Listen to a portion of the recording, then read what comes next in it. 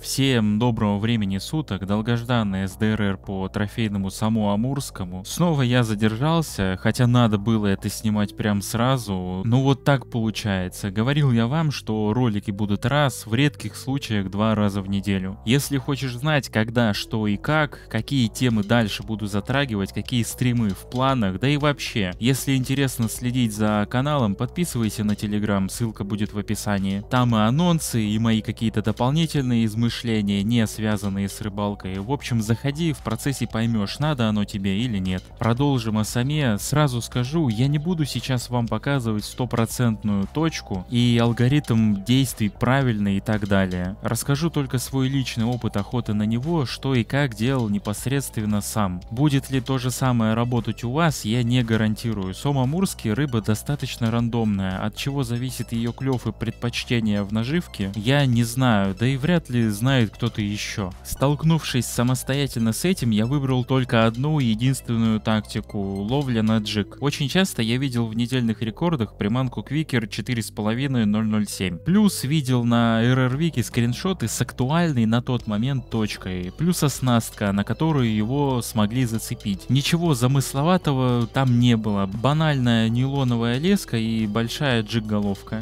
Собственно, с тех пор искал только так. Иногда ставил флюрокарбон карбоновый поводок, когда на точке были щуки. Ну или когда просто забывал его снять. Влиял флюр на поклевки сама, не знаю. За всю историю ловил крупных с поводком и без. Если вы находили трофейного сама амурского на флюрокарбоновый поводок, пишите, интересно будет почитать сторонний опыт. Это, напомню, рассказываю предысторию. Сама амурского я ищу давно, наверное, с начала этого года. За все это время в недельных рекордах ловился сом именно на квикер розовый. Это из мягких мягких приманок. Также его можно разловить на донке, используя личинку майского жука. И на стримах я видел, как это делают, и скриншоты тоже про это были на RRViке. Но для меня доступным способом всегда был именно джиг. Наживки я не качал, личинок копать не умею, да и, собственно, не стремился к этому. Опять же, будет враньем говорить, мол, только два способа есть. Нет, проскакивали также рандомные приманки и наживки, какие-то вейки, названия которых я уже не помню. Да и не разбираюсь я в них. На поролон различных цветов тоже иногда залетало кому-то. Из наживок это выползок. Зачастую мужики высиживают налима по ночам на выползка, а приловом идет сом амурский, килограмма по два, иной раз по три. Вот, видимо, иногда счастливчикам залетает и трофей. Но основные предпочтения все же это именно розовый квикер 4,5 и майский жук. Теперь давайте перейдем к местам, где мне лично он попадался. Мне лично, повторю. Не гарантирую того, того, что и вы там же будете их ловить и на одном из этих мест поймаете трофей. Так вот, мне лично он попадался, да немного-то и мест, где его можно и половить. Самый первый раз, когда он мне вообще встретился, был на спикеры. Я только попал на Тунгуску, разлавливал на вертушке около лагеря. И может на вечернем клеве, не помню точно, мне попался сом амурский грамм на 300. Можно ли вообще его ловить в маленькой речке? Будет ли целесообразно пробовать это делать, например, на повороте кидая под откос?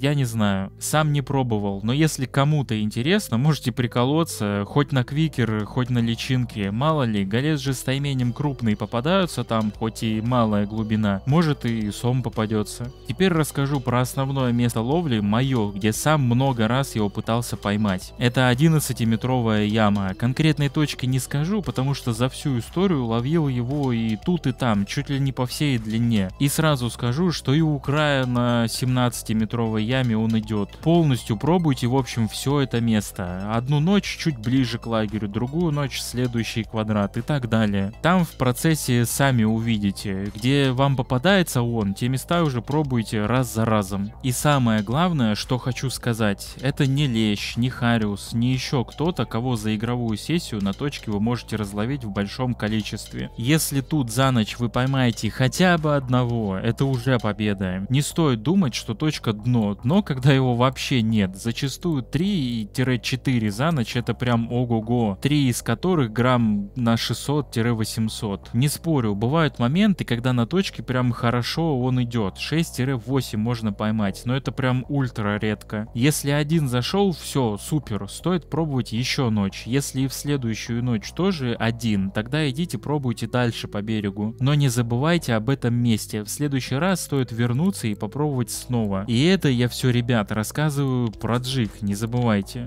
Теперь поговорим, какие скорости пользовал и как крутил катушку. Пользовал я много вариантов, и 30 с шифтом 2 оборота, и просто 32 оборота. Шел он и так, и так, на полном рандоме. В основном всегда пользовался скоростью 35, такой вот катушкой, 2 оборота, пауза. И еще бросаю против течения под небольшим углом. Какая же дальность? А хрен его знает. Бывало и у берега прям хватало килограмма на 2. Бывало, кстати, и на лим клевал 8-килограммовый прям у берега. Тут тоже ничего не скажу. Лично сам кидаю на полную, ищу по всей дистанции. Опять же, кидаю под углом против течения, не перпендикулярно. На середину реки у меня не улетает ничего, так или иначе нам нужно ямку разлавливать. Что вот вам еще такого рассказать перед самыми главными кадрами? В одном из прошлых видео я говорил, мол, мне советовал один уважаемый рыболов точку 152.38. Мол, сам он там его и закрывал. Ездил я туда, Сомамурский действительно есть, но на тот момент, как по мне, на 11-метровой яме шло куда лучше, хотя бы 4 штучки. На J9 1-2 средних размеров. Крест ставить, естественно, на этом месте я не стал. Сам же говорю, что даже один сом это уже победа. Ну и вот, э, периодически я ездил туда, народу там обычно нет, в основном проезжающие тролли. И вот, ребята, в один из э,